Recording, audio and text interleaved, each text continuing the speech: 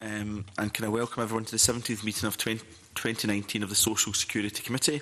Uh, can remind everyone to turn off mobile phones or put other devices to silent mode so they don't disturb uh, the, meeting. We don't quite have a full complement yet. Hopefully we, we will have, but no apologies have been received. And we move to Agenda Item 1, Poverty and Equality Commission. The committee will consider the nominees for appointment as members of the Poverty and Equality Commission and the content of a draft report. Prior to this meeting this morning, four members, well, three members of our committee met with nominees for appointment appointment to the Commission. The committee agreed at the very beginning of the recruitment process that this should be done in private to ensure the process was, uh, and as I say this, uh, we needn't have worried, but it was the right thing to do, that the process was not intimidating and off-putting for applicants with no experience of public committee meet hearings. I have to say it was a hugely positive meeting. We'll say more about that in a second. It's important to note that the nominees have already passed a rigorous public appointments process. We were not interviewing the applicants earlier on this morning. Uh, our role was not to interview them again, but rather to confirm that as a group, working with the Chair, Bill Scott, that they would be able to fulfil the functions of the Poverty and Inequality Commission as set out in the Act.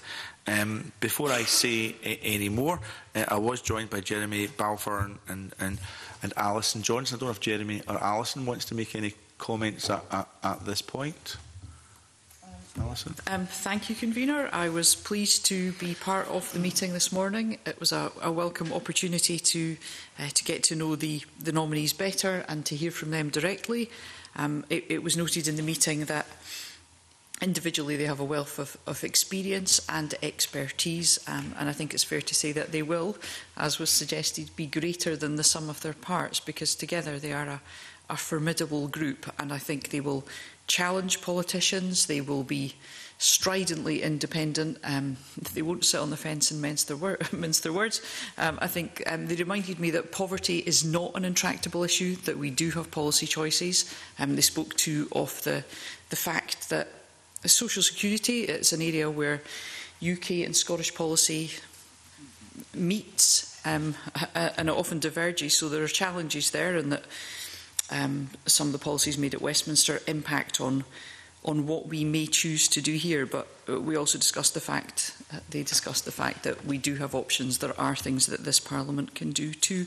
Um, so I just, um, yeah, very welcoming off, off the um, appointments. And I think the nominees um, individually and in their combined force will make a real difference to the ability um, of us all to tackle poverty and, and exclusion and inequality. Thanks, Alison. Jeremy? Uh, morning, Camino. Uh, not a lot to add to that. Um, I think um, it was a really helpful um, hour together where we could just um, learn about some of the skills of the new uh, commissioners. And I think uh, they do bring um, a diversity there, which I think is something we were very keen on the committee to get. But they are all there on merit as well, which I think is really important. So I think uh, how the process has worked is something hopefully uh, other bodies can learn from. That we do get that diversity, but yet we get that expertise. Uh, and I do hope that they will be able to bring that independent scrutiny um, and challenge not only Scottish Government, but challenge the Parliament and this committee over the next few years. So, uh, yeah, very encouraging morning. Yeah, thanks for those, those comments. I'll again just make a brief comment. I was hugely impressed by the diversity of, of, of the appointees, uh, the skills and the talents that they will clearly bring um, to, to, to the Commission. I think Alice is absolutely right. They will be greater than the sum of the, their parts. And, and already, I think it was really important to see that um, the, the candidates were seeking to be challenging, inquisitive of each other, as well as us as committee members, which is precisely what we want, because it's for the Commission to be fiercely independent, to be challenging to government, to be challenging to this committee, and without fear or favour, uh, looking at the hard reality of poverty as it impacts the communities that we all serve in this country. It's worth pointing out their direct lived experience of poverty uh, within within the, the, the appointees uh, and a huge range of talents. I was very struck by um, comments around it's not just about how governments seek to implement manifesto commitments, it's about the why of why governments are doing what they're doing, not just that they've said they will do it and what the outcomes might look like, but also what might, what might make the biggest impact in relation to tackling uh, poverty in, in our country. So uh, it, it was a privilege to, to meet everyone, and I'm it's great that they're actually in the in the public gallery here here this morning. I thank them for coming along along with Bill Bill Scott, uh, chair chair of the commission. Uh, I don't have any other comments to make, but comments or questions from other members or deputy convener. Yeah, uh, thanks, uh, convener. Um, I want to echo everything that's been said so far. Um, I would also like to put on record that I think that the fact that we've arrived here with such a fantastic commission with individuals which you would have hoped to have um, is a testament, I think, to the parliamentary process here. Um, it seems so long ago, I'm sure Bill Scott will testify to this.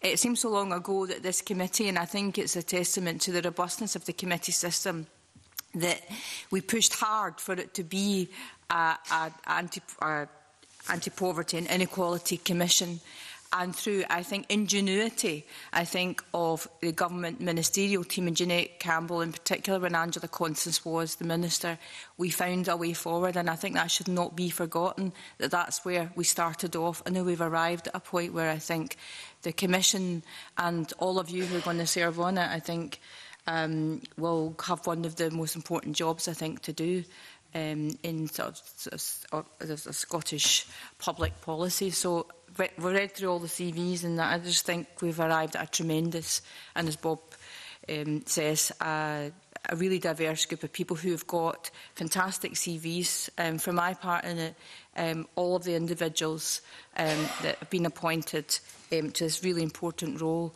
um, shouldered, lived experience, all the things that think you would have hoped from a, a commission that's going to take forward the work of people of Scotland. And as Alison Johnson rightly says, um, this is achievable. This is achievable in our country. It might take some years to do so, but um, I just want to put on record, Convener, my, my thanks to all of the individuals who have agreed to take forward this important role. Thank you, Pauline. Any other questions or, or, or comments, Michelle? Yeah. Um, obviously, good morning, and I'd like to echo the sentiments. I, I've read through the, the CVs and haven't actually met the members of the Commission yet, but uh, it is an impressive array, um, good range of experiences. Um, I'd just like to ask um, one question, really, just to, to check.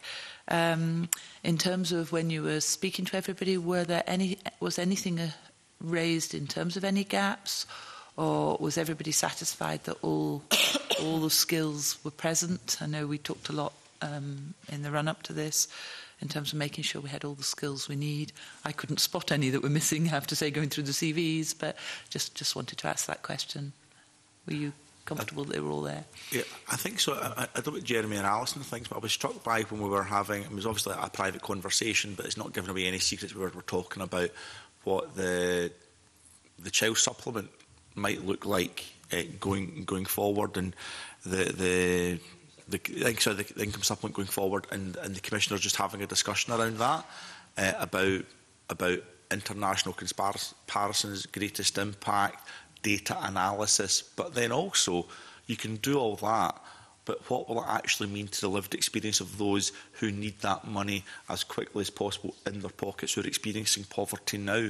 So that that absolute double check, if you like, to make sure it's not just about doing the academic piece of research and looking at the data. It's about what will this mean on the ground? What is the reality on the ground? Um, there seemed to be quite a, a broad range of skills and every base seemed to be covered from what I could see. It was pretty impressive. I don't know if Alison or Jeremy want to add anything to that. Yeah, I mean, I think it's um, uh, from the, from the uh, nominee CVs um, to meeting them in the room, you can see that, that there's a great range of diverse lived experience and academic expertise. So I think there's that mixture of people who really, really know what they're talking about, um, but also a desire to make sure that any actions are evidence based. Um, that we're doing all we can to improve uh, data collection, what we're looking at, why we're looking at it, and, and how we can use that to, to get the best outcome. So I feel very reassured after this morning that this group can make a great difference. Okay. Any additional comments? Okay. May also worth finally saying that as part of our discussions, um, I, I thought the Commissioner spoke very well about uh, not just analysis and scrutiny, but coming up with constructive solutions towards government, um, as, as well as analysing what what government are, are doing in terms of their policy and the implementation of that, which I thought was really, really interesting to, to hear as well. I thought that was appropriate to, to put on the record this morning. There be no other uh, questions or comments from members, can I say that uh, the committee is asked to recommend to the Parliament that the eight nominees should be appointed. I'm going to put on the public record their names and then I'll, I'll seek your agreement. So that would be Linda Bamford, Yvonne Blake, Alex Cobham, Lindsay Graham, Katie Schmucker, Shona Stephen, Morag Trainer and Douglas White. Is the committee agreed to recommend to Parliament that eight nominees should be appointed? Agreed. Okay. Can I thank you for that and can I thank the, the, the nominees uh, for their time this morning? Uh, the committee has also asked agree to give authority to the convener and declare to prepare what will be a short factual report to inform Parliament of a recommendation. Is the committee agreed to that? Okay. Uh, there being uh, no other business uh, before us this morning, he says, looking at his clerk to make sure I've not forgotten of anything, we can now close the meeting. Thank you all.